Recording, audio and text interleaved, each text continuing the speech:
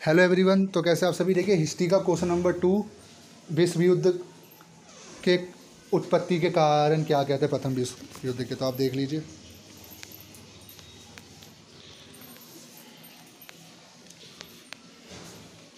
बाकी channel channel subscribe ज़रूर करना, भूल मत जाना। अगर कोई चैनल आपके लिए इतना करा तो चैनल आपको सब्सक्राइब करना। है ठीक है?